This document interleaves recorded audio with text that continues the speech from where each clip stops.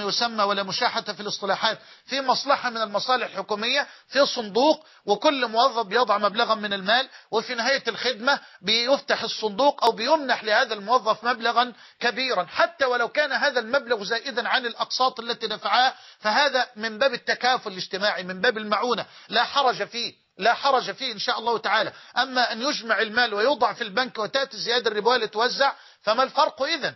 هذا هذه الزيادة هي زيادة الربوية المحرمة.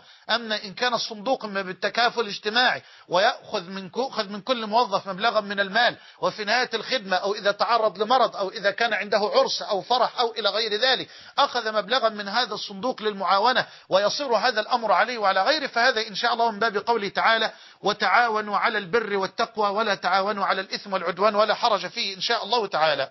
هل النقاب فرض أم سنة؟ المسألة فيها قولان لأهل العلم وأنا أقول ذلك بأمانة. الإمام مالك وأبو حنيفة والشافعي على جواز كشف الوجه والكفين لا والإمام أحمد وغيره على وجوب تغطية الوجه والكفين لكنهم مجمعون على وجوب تغطية الوجه في زمان الفتن. إن لم تؤمن الفتنة أجمعوا على وجوب تغطية الوجه. وأنا أدين الله بأننا في زمان الفتن والوجه هو محط الفتنة في المرأة بل هو محط الإثارة للزوج في فراش الزوجية مع أنها زوجته التي يعرفها ويحفظ وجهها ويراها لكنه محط الإثارة حتى للزوج في فراش الزوجية. وأسأل الله سبحانه وتعالى أن يستر نساءنا وبناتنا.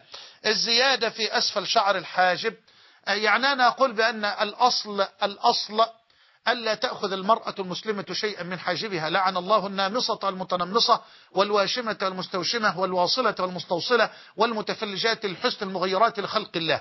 أما أما والضابط التقوى الضابط التقوى إن كانت الزيادة على أصل الخلقة على أصل الخلقة والأخت تتأذى بالفعل تأذيا حقيقيا من هذه الزيادة فلو أخذت الزيادة لترد الأمر إلى أصل الخلقة وأن يكون الضابط تقواها لله جل وعلا وهذه فتوى هذا مناط خاص وليس مناطا عاما. فأرجو الله حينئذ ألا تكون آثمة.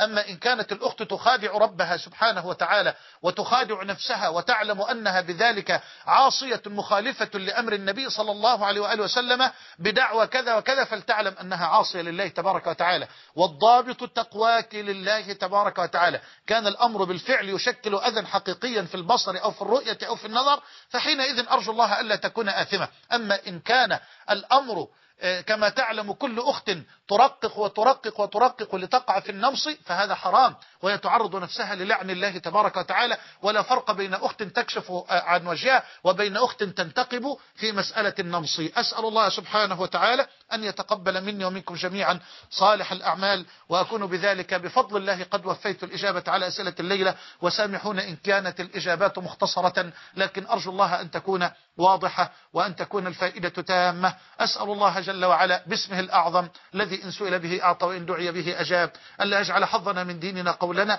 وأن يرزقنا الصدق في أقوالنا وأعمالنا ونياتنا وأحوالنا. إنه ولي ذلك والقادر عليه. أستودعكم الله الذي لا تضيع ودائعه. وصلى الله على نبينا محمد وعلى آله وصحبه وسلم. والسلام عليكم ورحمة الله وبركاته.